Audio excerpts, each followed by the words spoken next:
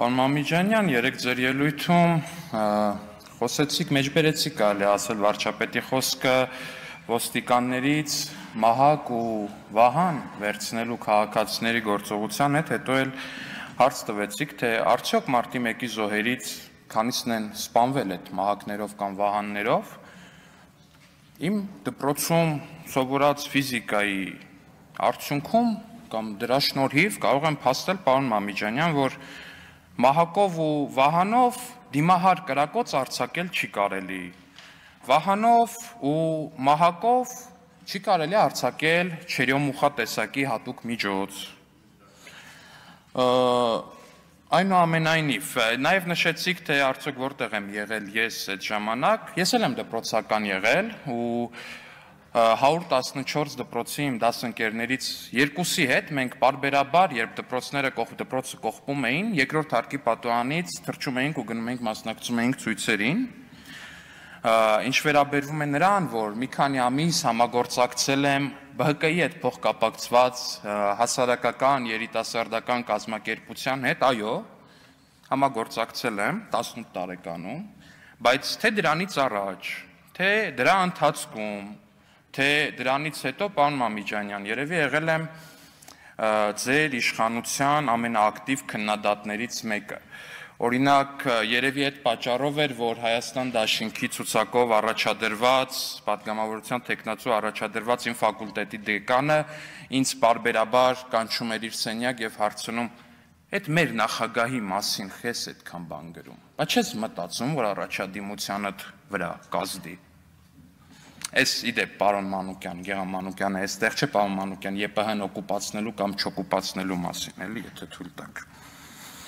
Օրինակ, հենց այդ պատճառով էր, որ երբ ես գնացի զինվորական ծառայության, հատուկ ծառայության աշխատակիցը, որ սովորաբար զրուցում է բոլոր նորակոչիկների հետ, ինձ հետ երկու անգամ զրուցեց, մի անգամ եւս համոզվելու համար, որ այնուամենայնիվ հակաիշխանական լոբինգով զորամասում չեմ զբաղվի, ինչը պիտի ասեմ, որ երբեք չեմ արել, պարոն Մամիջանյան։ Նաև ձեր ելույթում խոսեցիք, բայց ինձ համար օրինակ շատ հետաքրքիր, որ դուք եք մասնակցել մարտի 1-ի ցույցերին, պարոն Մամիջան։ Սա իմ համար բացահայտում էր, որովհետև եթե դա համադրում ենք, համադրում ենք այն փաստի հետ, որ դուք հիմա դուք մի քանի օր առաջ ձեր ելույթում նշեցիք, որ ՀՀԿ-ականները մի լավ խոսք ունեին բանակից հաց գողացողի մասին Եթե էտել ենք համադրում այն փաստի հետ, որ դուք հիմա նստած եք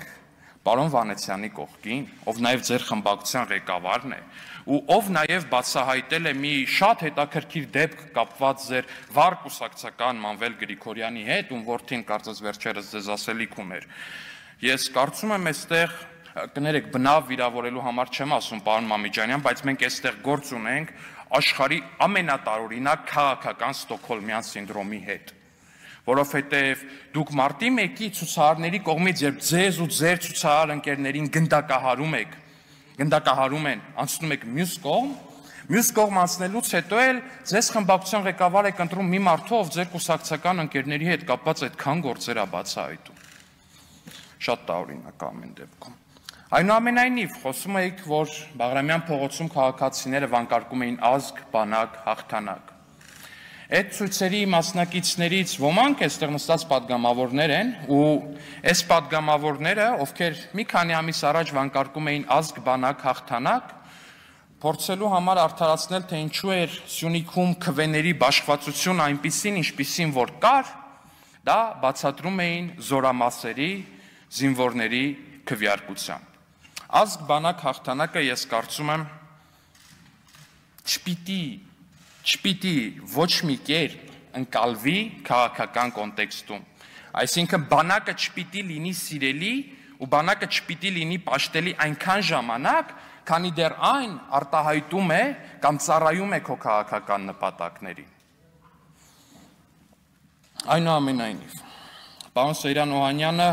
իր անցած ելույթում խոսեց ռազմահայրենասիրության անկման մասին։ Պարոն Օհանյան, ես իրականում երբ ծառայում էի, ես հույս ունեի, որ մի օր ձեզ կհանդիպեմ ու կասեմ սա։ Գիտեք, պարոն Օհանյան, մեր ծառայության ժամանակ բանակում ամենա կներեք արտահայտությանից համար հայհոյված իրը կամ առարկան որն է եղել։ Ձեր նախարարության օրոք։ այն պազիկը, որը զինվորին բերելա զորամաս։ Ու այդ ռազմահայրենասիրության հետ կապված խնդիրը դա բնավ նոր երևույթ չի։ Ու նոր երևույթ չի նաև այն, որ պարոն Մանուկյանը ասում է, դե տղա եղեք էլի, ծառա ելեք, հիմա դժվարություն ա եղել, տեսել եք, մի ասեք։ Մենք երբ որ մենք էինք ծառայում, պարոն Մանուկյանը պիտի իմանա, որ չենք ասել չենք բողոքել, ոչինչ չենք արել, անխոչ ծառայել ենք իրականում, որտեղ բոլոր դժվարություններն էլ այո տղամարդու համար է։ Ու ծառայությունն էլ հենց այդ դժվարությունների կարելի է ասել այսպես խտացումն է որպես այդպեսին։ Բայց ի՞նչ է նշանակում, որ падգամավորները, չխոսեն բանակի խնդիրների մասին, չփորձեն դրանց լուծում տալ, որտեղ այո այն դժվարությունները, որ մենք տեսել ենք, դրանք թող անցած լինեն ու փառք բոլորին, որ անցել են դրանց միջով։ Բայց մեր նոր սերնդի համար ինչու մենք չպետք է կարողանանք ու չփորձենք ապահովել ել ավելի լավ պայմաններ։ Օրինակ, երբ որ հացի փոխարեն խմոր չդրվի զինվորի սեղանին, որ եփած ծորենը ինչ-որ տարատեսակ միջատների հետ համադրությամբ այդպես չդրվի սեղանին, ինչու չարվի դա ես չեմ հասկանում, եթե հնարավոր է դա անել։ Եթե հնարավոր է դա անել։ Խոսում էիք պարոն Օհանյան նաև բանակցային շատ մեծ pašարի մասին, որը իբր թողնվել է այս իշխանությանը, սակայն 2018 թվականին Նիկոլ Փաշինյանի վարչապետ ընտրվելուց 2 թե 3 շաբաթ առաջ թող լինի 4։ Հենց այս նույն ամբիոնից Սերժ Սարգսյանը հայտարարեց, որ բանակցային գործընթաց փաստացի գտնվում է փակուղում, որ չի կարող բացառել, որ Ադրբեջանը կգնա դավադիր պատերազմի այդ բանակցային pašարը նկատի ունեիք, պարոն Օհանյան։ Կամ այսպես արդեն ամիսներ շարունակ մեր ընդդիմադիր գործընկերները փորձում են մեզ մեղադրել ու մեղադրում են նաև, այո, պատերազմում պարտության մեջ, բայց երբ օրինակ խոսքը գնում է հստակության մեջ, Երբ մարդկանց խնդրում ես հստակ ձևակերպել, թե ինչի մեջ են մեղադրում,